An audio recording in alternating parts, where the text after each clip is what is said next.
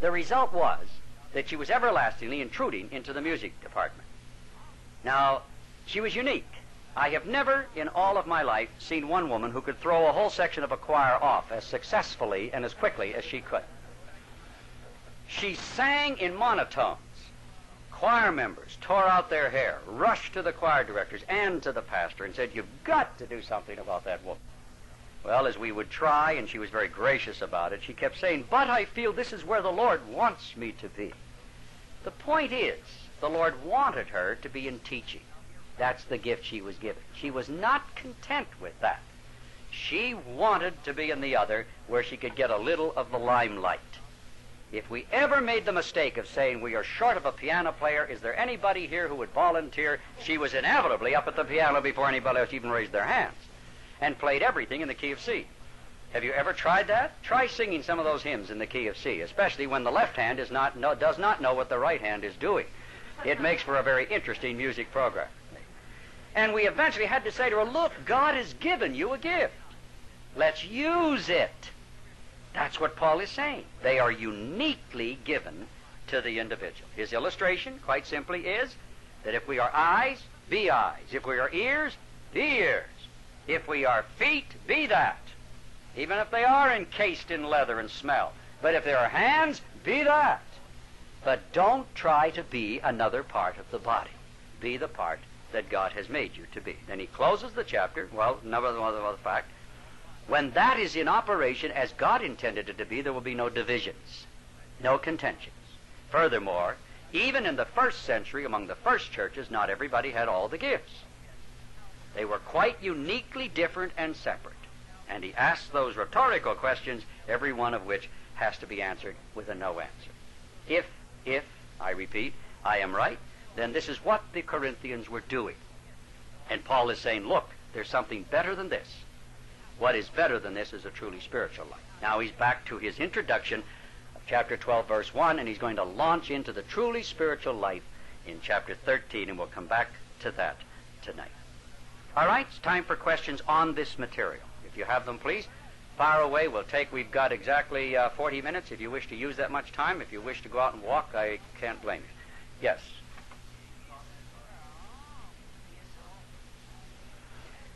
I'll be glad to do so. In the book of Ephesians, you have the offices in which the gifts are used. Notice, please, verse 11 Apostles, the apostle, the apostolic office. Verse 11, Ephesians 4. Prophets, those who use the gift of prophecy. Evangelists. An evangelist certainly would need the gift of exhortation. He probably could well use the gift of discernment. Knowing how the state of evangelism today, he would desperately need the gift of faith. Believe me. In other words, many gifts operating within an office, and pastor teachers, Take that word and and put a hyphen in there because they should be pastor teachers. Those two things are linked together. Any man who is not teaching his people is not doing his job. Pastor teacher. Again, you can think of many gifts the pastor teacher could need. The prophetic ministry, the, uh, uh, the Word of God given under the power of the Spirit who wrote it. Again, the gift of faith, the gift of discernment. Sometimes he needs the gift of administration, the gift of ministry. In fact, just keep going. The pastor teacher needs these things, and I think God gives to some degree, more or less, what they have. Because, now notice, the office is for the perfecting of the saints, or the maturing. It's a process, the teleos, the perfecting of the saints. God places men in given offices for the maturation of the body of Christ. He gives to those men certain gifts, and they are to be used within the office where he has them. The listing of the gifts is Romans 12 and 1 Corinthians 12. If you're interested, I'll just read a quick rundown of that list for you. And again, this is open, subject to a great deal of controversy, and I don't argue the point. After the rapture, you'll find out. Here are the gifts. Let me just give them to you as first of all from the book of Romans. The book gift of prophecy, that's repeated in 1 Corinthians 12. The gift of teaching, that's repeated also, by the way, in 1 Corinthians 12 the gift of exhortation, the ability to come along some uh, alongside somebody and lift them up. Any very any had contact with the old Methodists? They used to have the exhorters. Remember that? If a man had the gift of exhortation, they made him an exhorter. Now, many times, the exhorters were browbeaters. That isn't what God meant by that. The gift of exhortation was the gift of lifting, lifting people up. Let's take a classic example, of the book of Acts, Paul and Barnabas. Remember the first missionary journey of Paul? He and Barnabas went out and they took John Mark, Barnabas, Barnabas' young nephew, along with them. There'd been a missionary convention in Jerusalem, and John Mark had gone forward and dedicated his life, and so they took him along on the first missionary journey. Now, they got over into Asia Minor, and all of a sudden, John Mark is looking at men with very, very severe looks on their faces, and things are getting real sticky. So one night, he packed his bag and went home to Jerusalem.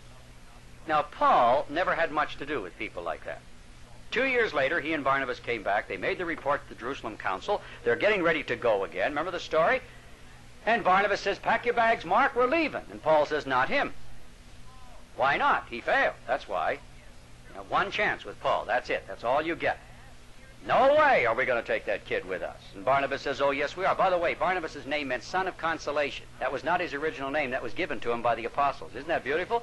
You imagine somebody naming you that? The son of consolation. Great, big, shaggy St. Bernard Barnabas. And there's little Dachshund Paul bouncing around saying, He isn't going. And Barnabas says, Yes, he is. No, he isn't. Yes, he is. And the Bible says the paroxysm was so sharp between them. I think that's unique to our day. They had it then.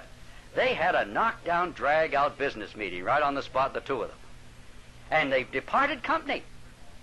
They parted company. Paul took Silas, Barnabas took Mark. Now the Lord takes the wrath of men to praise him. Now we got four evangelists instead of three.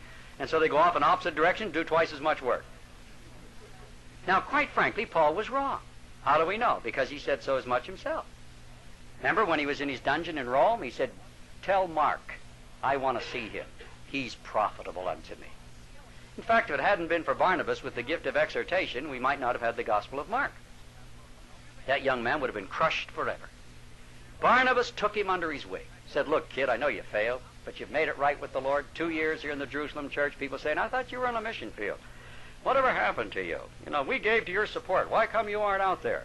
He stood that for two years until he finally got out of town with Barnabas again. And Barnabas lifted that boy up. He encouraged him, he exhorted him, and he made him one of the giants of the early church. The gift of exhortation. Don't you need that in your church? People walk up to people, put an arm around their shoulder, and say, How's it going, friend? And say it in such a way that somebody knows they've got a kindred soul that they can talk to, share with, pray with, and they just lift them up. Ever had one do that to you? You know, instead of saying, Oh, Pastor, you didn't have it this morning, did you? Yeah. Uh, to come by and say, You know, Pastor, we love you. We're praying for you. What can we do to help? I love those people. They are a great gift of exhortation. How'd I get on that? Oh, yeah, the, the gift. We're talking. Book of Romans. Let's keep going. The gift of ministry. Romans. Or service is what it means. To serve other people. The gift of giving. Again in the book of Romans. The gift of ruling or administration. In Corinthians, it's called governments. Some of them are repeated. The gift of showing mercy with cheerfulness. Now, in Corinthians, you have several duplicated prophecy, teaching, but you also have the word of wisdom, and the word of knowledge. You have faith, the gift of faith, 1 Corinthians 12:9. The gift of discernment, 12:10. The gift of helps, 12:28. And the four sign gifts, all in Corinthians, not in Romans. Tongues, interpretation of tongues, the working of miracles, and the gifts of healing. Now, I grant you that's an enticing side road, but we need to have several days just to spend on that. So please, let's not get too involved in that as of this morning. But 16 spiritual gifts. Some people have 22, some have 30, some find 12, and so forth. After the rapture, 16 spiritual gifts. You'll find out. Question? Yes.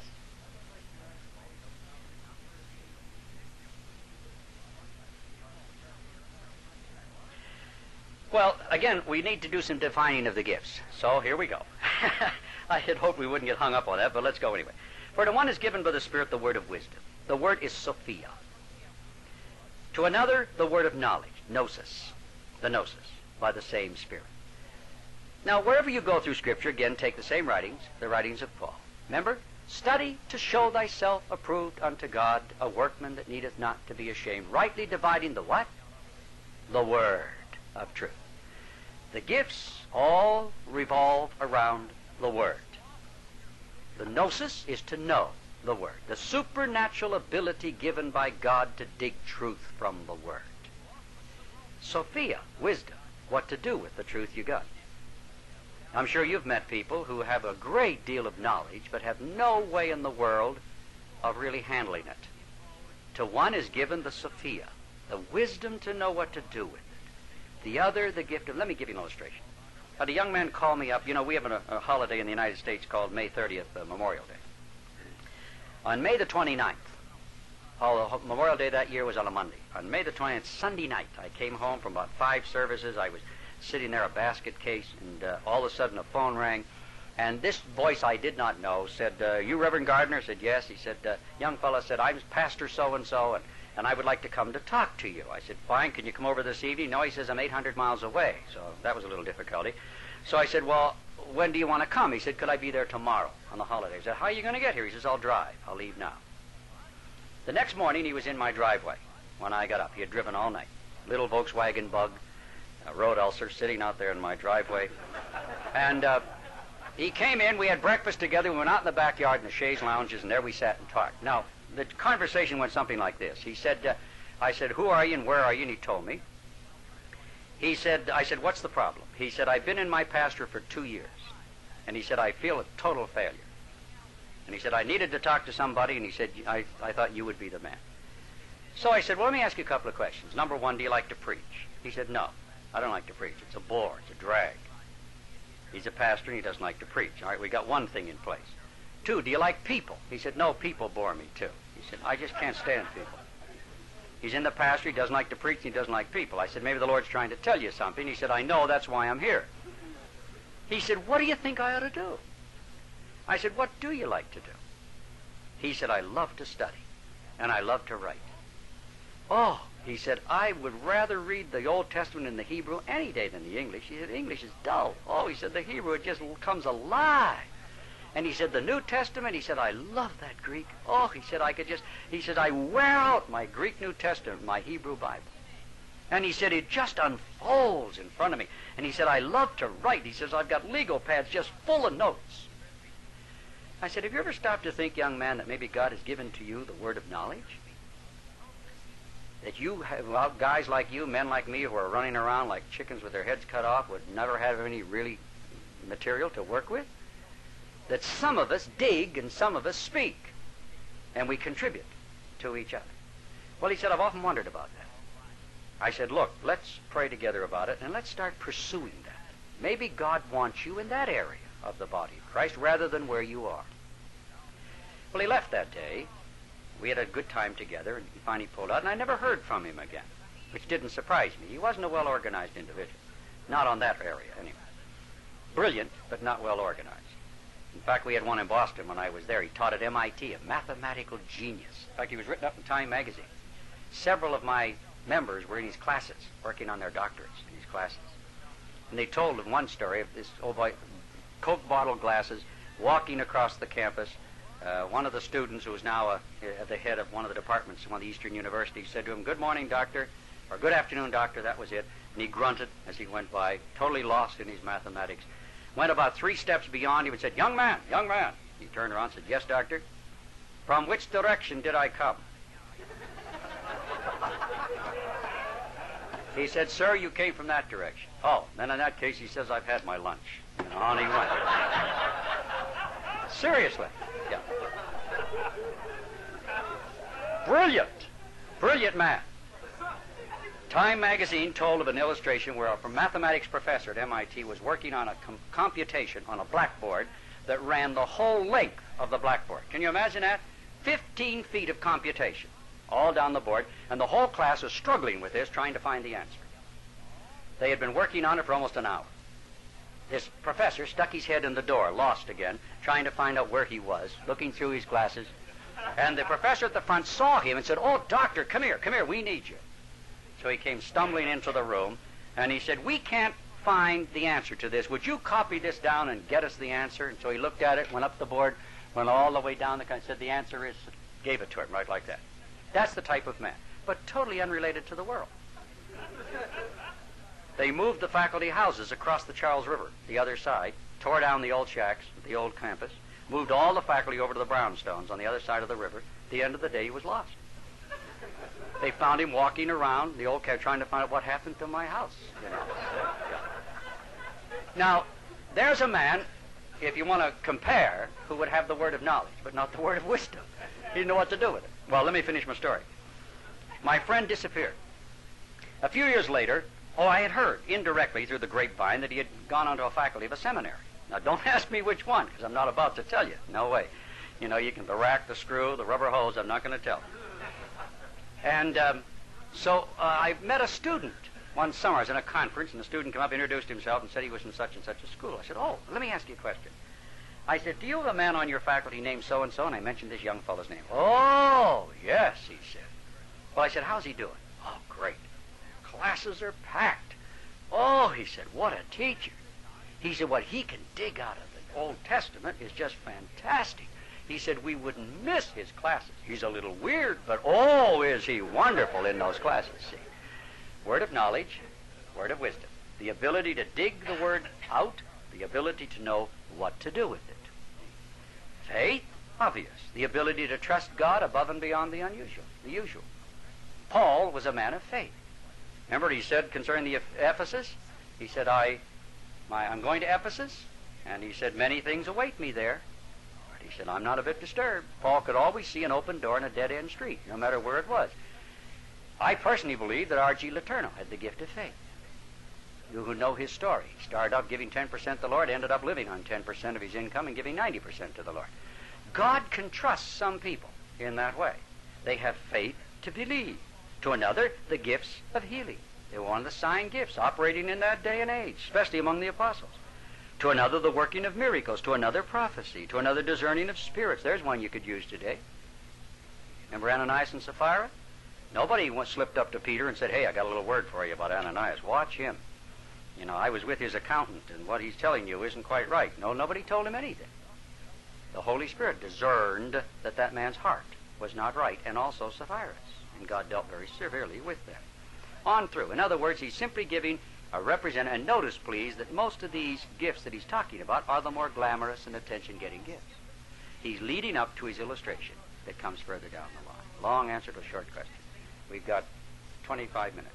Another one? Somebody else had another hand up. Yes.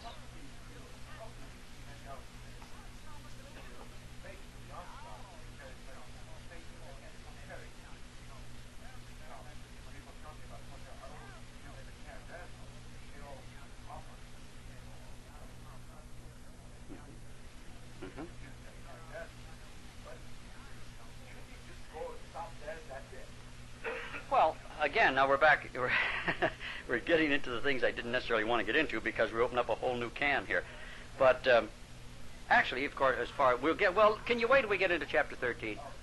Because that will ha- partly answer your question right here. I think. Uh, well, again, let's not uh, jump ahead. We'll get into that tonight, if you don't mind. Yes. Another question. Yes. Mm-hmm.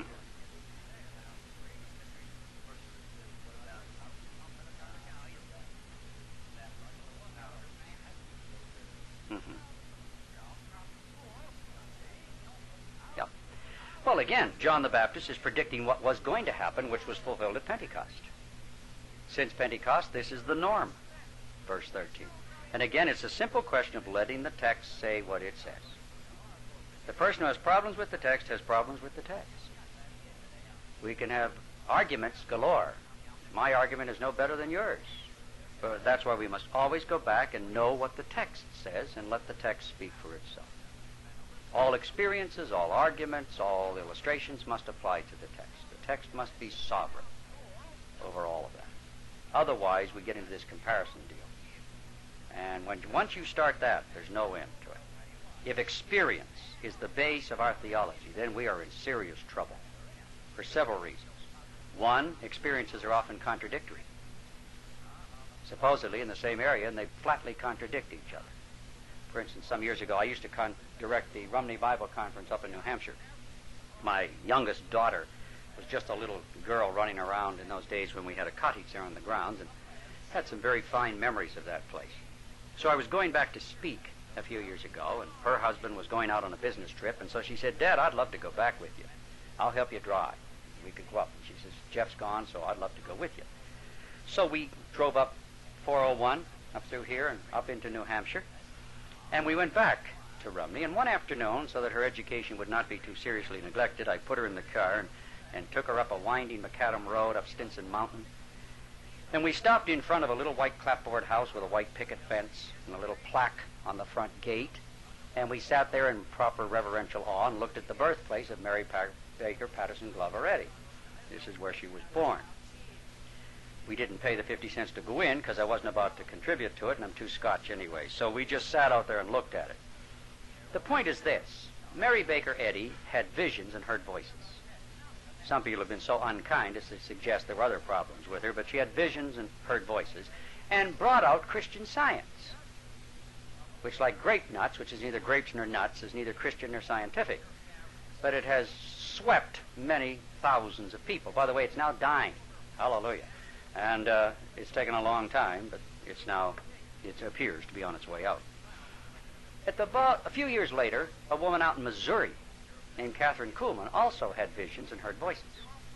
But the two of those women produced were totally opposite.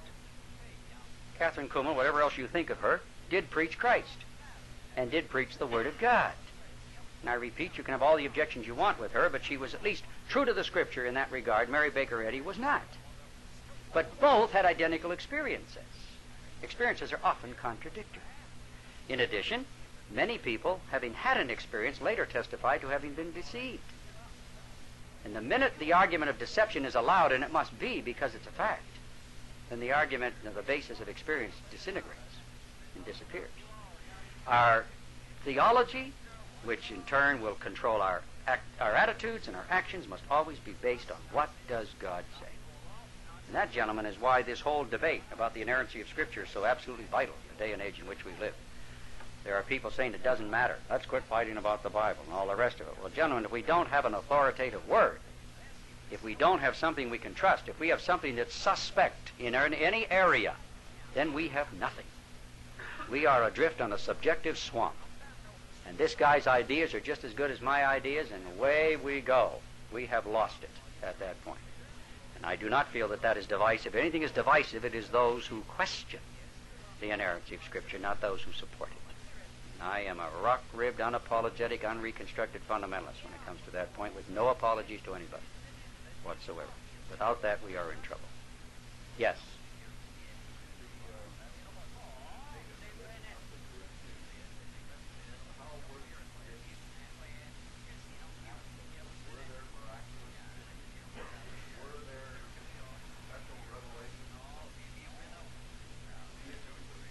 All of this is professed, yes, in the Greek mystery religions.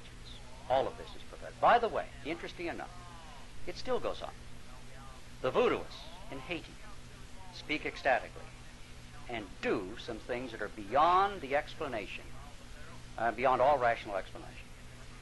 The witch doctors of Africa, the high priests in Bali, in spiritist seances in our continent.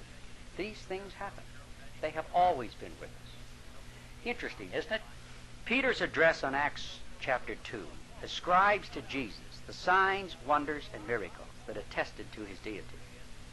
Paul, in writing to the Thessalonians, ascribes exactly the same three words to the Antichrist. The only difference is he puts in one additional word, lying. But the three words are exactly the same. Lying, signs, wonders, and miracles. The devil has always counterfeited down through the years. And so in the mystery religions, the initiate who wished to enter into the fullness of it went through almost exactly the same things as many people do today and received the emotional experience of contact with the gods or goddess on Mount Olympus. And were able to do supernatural things. At least that's what the historians tell us.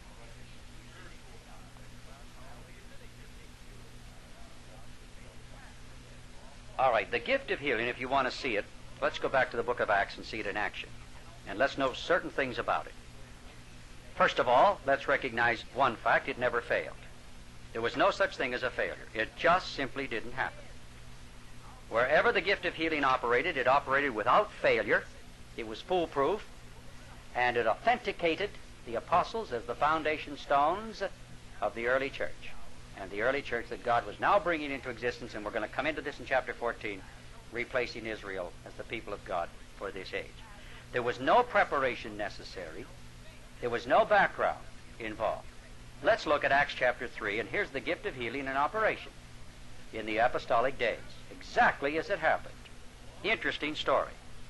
Now, Peter and John, notice two apostles, went up together where? To the temple, the center of Jewish life and worship. When, at the hour of prayer, when the maximum number would be there, being the ninth hour, now here's our man, verse 2, and a certain man lame from his mother's womb. Notice not a word is said about him being a believer. He's there for one reason to ask alms. He has not been to a preparation meeting. He doesn't have a little white card in his hand. Nobody's bringing him through the line. The Hammond organ isn't throbbing. The great physician now is near in the background. Nobody is saying, Turn your faith loose. Something good is going to happen to you today.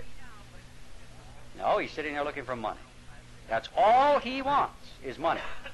He hasn't the foggiest notion of anything else.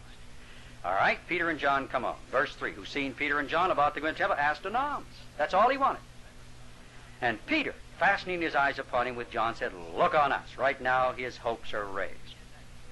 And he gave heed unto them, expecting to receive something of. Then Peter said, Silver and gold have I none. Now, right there, they depressed his Dow Jones for the day, because that's why he's there.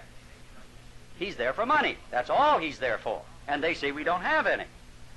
So the response is, you know, move on, clods, and let somebody come along that has a few drachmas. This is what he's there for. It's the way he makes his living. But such as I have, give I thee. Notice no preparation on the part of the recipient whatsoever. In the name of Jesus Christ of Nazareth, rise up and walk. Now let me paraphrase verse 7, doing no damage whatsoever to the original, but just to bring it a little clearer. And Peter took him by the right hand and lifted him up in the air. Now let's remember something. This man has never walked. You remember how long it took your kids to learn to walk? Boy, mine were retarded. We had a terrible time trying to get those kids to walk. They ran into coffee tables, they stumbled over pianos. It was wild. It took a long time. And it was a painful process. This man is now an adult and has never walked. Remember that. And here is this big fisherman, Peter, holding him in midair. Now you know what's going through the guy's head you know, when this yo-yo lets me go, it's splot on the temple floor. He's not expecting healing. He wanted money. All right. In midair, immediately, verse 7, after Peter lifted him up, his feet and ankle bones received strength. No preparation, no expectation, no prayer time. The gift operated automatically, authenticating these men in front of the Jewish nation, as we'll see when we come to chapter 14, and there was the gift. It never failed. They never said to him, You don't have any faith. Go home and read a few more books or go to a seminar. No. It always worked. And there, my friend, quite simply, if that gift is still in operation, I've got a very simple proposition. I've made it all across America. It's this. If that gift is still operating, then there's a very simple way to prove it. Number one, go where the sick people are. That's what Peter and John did. They did not bring the man to him, to them. They went where he was. Now, where are the sick people? They're in the hospitals. So go where the sick people are and say to them, Achromycin and penicillin have I none, but such as I have, give I thee. In the name of Jesus Christ, rise up and walk. Pick them up, Johnny gown and all, and in midair they get well. It's not a ridiculous illustration. It's perfectly logical in the light of what the book of Acts pictures for us. And I suggest we could clean out most hospitals in the morning, start on the rest in the afternoon. We'd have everybody home well if it's the same thing. The point simply is that not everybody got healed in the book of Acts. Remember Paul leaving his best friend Trophimus behind at Miletus sick? In his early ministry, he had great miracles.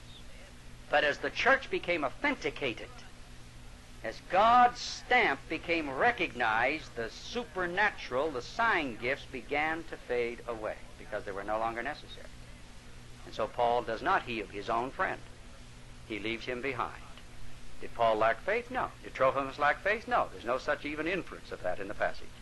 Just simply, here was the way the gift of. Now somebody says, then you say God isn't healing. Oh, no.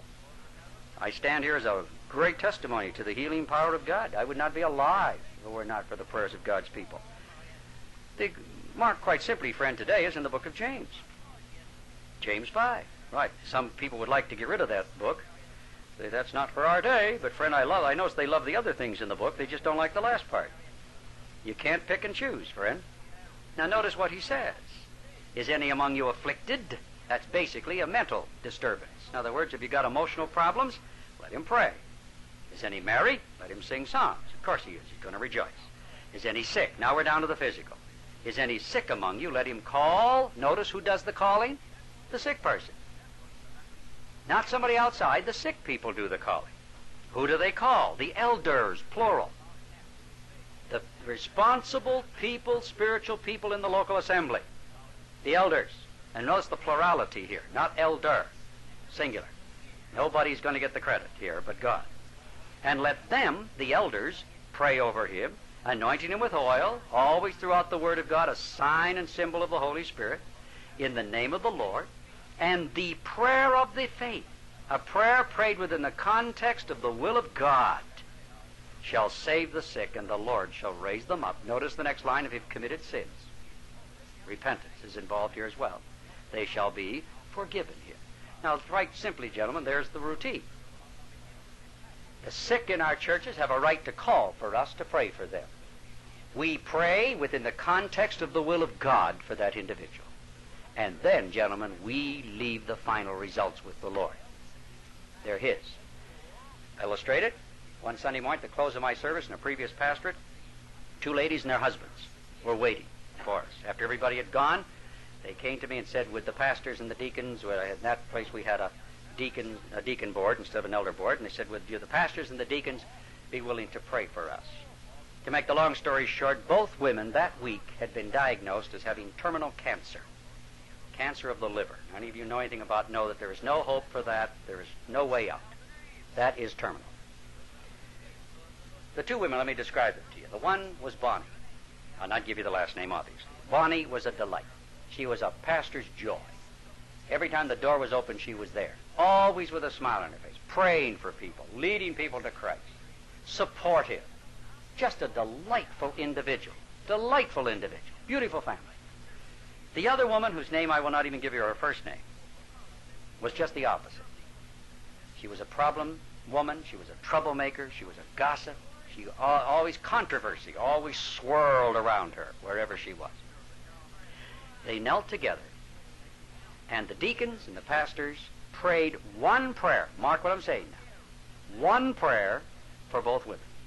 Dear God, here are these your children, temples of the Holy Spirit. You have a vested interest in these bodies. Now, Lord, you know the condition. We're asking you now, within the framework of your perfect will for these lives, to touch and to heal these women. We leave it with you, Lord. Whatever you do, we will say is best. But we are asking this for them. To give you an idea how much the second woman's faith, how much faith she had, she left the next day for California to say goodbye to her family. We prayed for her on Sunday. She leaves to say goodbye on Monday. So you can see how much faith was operating there. Bonnie went back to work as a hairdresser.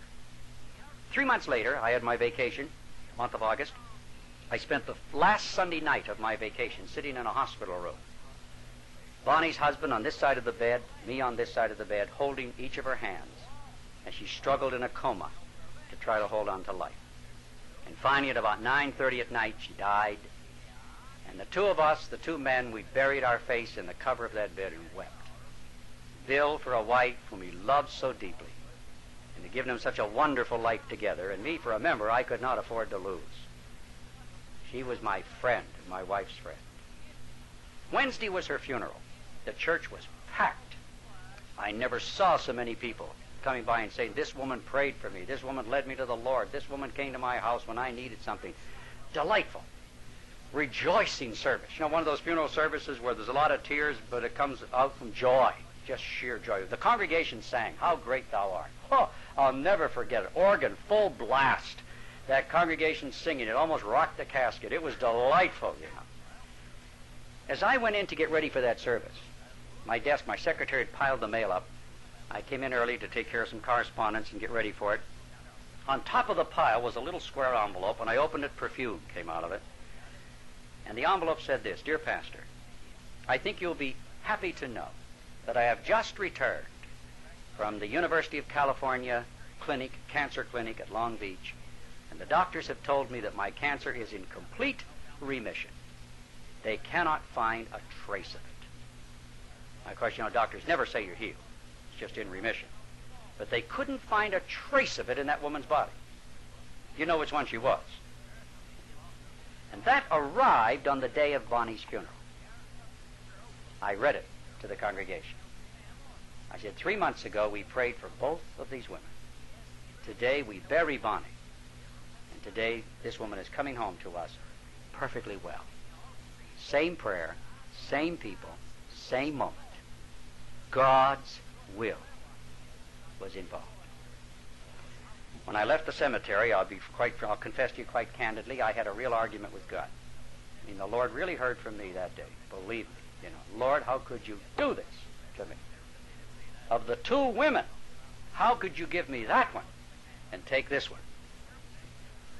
And my wife, with her wisdom, oh, bless our wives, she looked at me and said, Honey, have you ever stopped to think that Bonnie was ready? The Lord's got a lot more work to do on her. I can't fault that argument. Absolutely true. Same prayer. Yes, gentlemen, we have a right to pray for our people, and we ought to. In fact, we ought to beat the doctor to it. But it is a prayer prayed within the context of the will of God.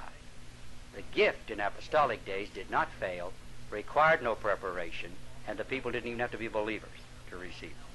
It was done publicly before the crowd, the multitude, particularly the Israelites, authenticating those apostles and that early church, and was totally different than what passes for it in this day and age.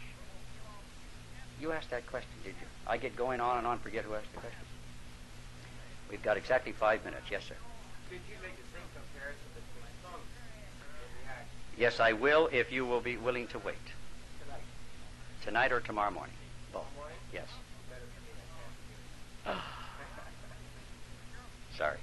There is a difference, though. I mean, you, you see the ecstatic utterances of Corinthians the interpretation and reaction. It's always any different. No. No, they're exactly the same. And for a very good reason.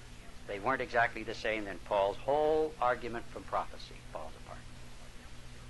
Uh, we'll deal with 14 tomorrow, but we'll also be touching on it tonight. Yes?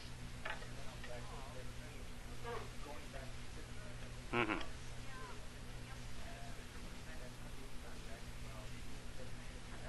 Mm-hmm. Yeah. Well, that, again, the argument, the, the gentleman's question, problem is that people often say, well, that's your interpretation. Friend, when it says it, it says it. Let's have the honesty to say what the Bible says what it says. It's as simple as that. This, that that's a, that's a, a cop-out, the idea that's your interpretation. If it says it, it says it. I was speaking at University of uh, Ohio, um, at Oxford, Ohio, Miami University, InterVarsity. I do a lot of work for InterVarsity. InterVarsity had me in one night. If you've ever been on this InterVarsity thing, you know what I'm talking about. They give you 20 minutes to speak. They hand you your type, your topic, and everybody's there. You know, Jew, Gentile, Protestant, Catholic, atheist, Buddhist, everybody's there. It's a, it's a secular university. And they handed me the title, Is Christianity Unique?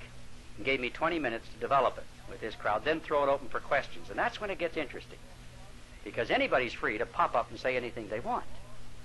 Well, as we were doing this in this auditorium, packed, hundreds of students, I noticed one particular one, my attention drifted back to him. He had come in a little late and was sitting in the rear. Now, let me describe him for you. He had long, dirty, stringy hair. I have no big hang up on long hair, but this one was dirty. It had not seen soap and water for a long time. He had on a t shirt with a Stroh's beer commercial on the front of it, torn blue jeans, dirty feet in sandals. There he was sitting in the back, and I thought, you know, buddy, I don't know how they put up with you. Uh, somebody in the student body ought to get you either cleaned up or out of here. One, you- you're contagious. And he there he had not very little to say. As I was leaving, he was waiting for me. And I thought, oh boy, you know, what have I got now? So he came up to me, extended his hand, introduced himself as Dr. So and so, and I suddenly realized I was not speaking to a student, I was speaking to the faculty. And he suggested that we go over to the bachelor quarters and rap for a while. Fine, let's go. So we went over to his digs, as he called it. Now, that was one of the best named places I've ever seen. So, I have been in coal mines that looked better than that did. clothes all over the place, food on the floor. We sat in two bean bags, and we were going to rap. Well, he started in. He was a professor of philosophy. He started in spinning out this philosophy. So I had my little testament with me, and I stopped him, and I said, "But the Word of God says," and immediately he said, "Oh, wait a minute. We're not going to talk about the Bible." And I said, "Why not?" Well, he said, "Because," he said, "what you would say is just uh, your interpretation of what it says." I said, Sir, you invited me over here to rap. Yes. I said, I've been here a full 35 minutes and I haven't seen one present. No, no paper, no seals, no ties, no nothing. When are we going to start to wrap? Oh, he says, that isn't what I meant. Well, I said, that's my interpretation of what you meant. No, no, he said. You know better than that, Mr. Gardiner. He said, What I meant, I meant. Well, I said, Why can't you have the honesty to just let the writers of Scripture do the same thing? If they say it, they say it. And instead of ducking the issue and saying that's your interpretation, why don't you just let them say it? Well, he says, You put it like that. I said, That's exactly the way I put it if we're going to continue this conversation. And so at that point, we stopped that little subterfuge right on, the, right on its nose. But that is the way people get around what the Bible says. That's your interpretation. No, if that's what it says, it says it. Now, if you're dealing with interpretation, as I did with verse 31, then have the honesty to say to your people, this is my interpretation, because that's what it is. Otherwise, if it's a clear statement, let it be a clear statement. I may not know the explanation for it, but that's what it says, and that's where it must stand. One minute. Who's got a one minute question? It's going to take you that long to say it. Yes. Yes.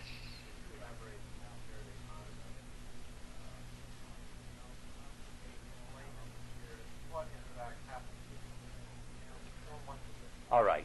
If you anticipate something, any psychologist will tell you, if you anticipate and are surrounded by the proper peer group, given the proper subtle pressures, subtle or overt, makes no difference, what you anticipate is going to happen to you. We are all subject to our environment. Let's face it, no matter who we are. I went to an A.A. Allen revival meeting one night to observe. You all remember A.A. Allen? He died with delirium tremens in a San Francisco hotel room. Um, I had been there through six offerings and, and a lot of singing, and finally he came out in his pistachio suit and so forth. But the thing that got me was this. Here I was sitting there to observe. We were singing, clapping, stamping feet, dancing in the aisles, and the first thing I noticed was that my foot was going up and down on the floor. I was subject to the environment in which I was in. Quite frankly, I left the meeting because I am not going to allow myself to be taken over. It's as simple as that. And when people anticipate because others have seen them do it, and it has long been a custom, it's nowhere in Scripture, not a line in the New Testament, then it's going to happen especially to those who anticipate the most.